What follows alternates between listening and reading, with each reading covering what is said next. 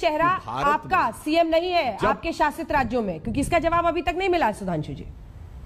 पहुंचिए तो हाँ वहाँ। बिल्कुल। हाँ बिल्कुल जवाब देता हूँ। अरे साहब हम तो दलित राष्ट्रीय अध्यक्ष बना चुके हैं।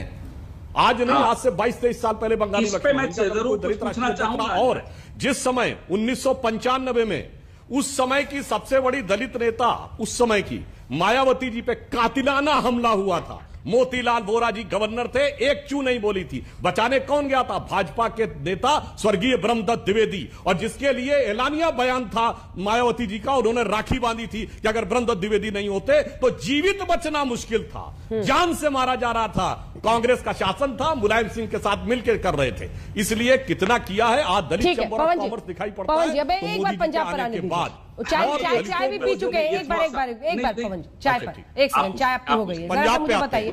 जरा सा मुझे बताइए पहले पवन जी एक सेकंड। ईमानदार जवाब दीजिएगा। क्या आपकी पार्टी को यह एहसास हो गया है कि अब सिद्धू से खेलना आग से खेलने के बराबर है? उनकी नाराज़गी आप लोग मोल नहीं लेना चाहते हैं। क्योंकि जब हरीश रावत ने तुरंत चन्नी साहब के मुख्यमंत्री बनाए जाने के बाद जब ये बयान वो दे रहे हैं एक तरफ़ स्वेरिंग इन है और दूसरी तरफ़ वो कहते हैं कि उनका चेहरा होगा। तो आप लोग डरे हुए हैं। अब आप आप लोगों को ये एहसास है कि ये ये राह बड़ी आसान नहीं नहीं नहीं है नहीं नहीं नहीं नहीं। आपने मैंने अभी आप ही के चैनल पे पहली बार हरीश रावत जी का पूरा बयान आपने चलाया मैंने सुना। उन्होंने बड़े स्पष्ट तौर पे कहा कि मंत्री हो मुख्यमंत्री हो वो तमाम लोग प्रदेश अध्यक्ष के मातहत रहकर ये हमारे लोकतांत्रिक प्रक्रिया है हमारी पार्टी की कि सरकार संगठन के अधीन मानी जाती है। संगठन जवाबदेह होता है क्योंकि मैनिफेस्टो लेकर फिर वही संगठन जाता है चुनाव लड़ने। तो उसमें कोई गलत बात नहीं है। उसको कोई कितना तोड़े मरोड़े वो छोड़ दीजिए। अब मेरे मित्र सुधांशु जी ने गलती कर दी कि अपने दलित अध्यक्ष का नाम ले लिया। बंगारू लक्ष्मण जी का, स्वर्गीय बंगारू लक्ष्मण जी के विषय में मैं बोलना नहीं चाहता था, लेकिन इन्होंने बात छेड़ी। अगर बंगारू लक्ष्मण जी, जो कि भारतीय जनता पार्टी के राष्ट्रीय अध्यक्ष थे और रंगे हाथों रिश्वत लेते हुए पकड़े गए थे, अगर वो दलित नहीं होते तो क्या ये लोग उन्हें हटाते?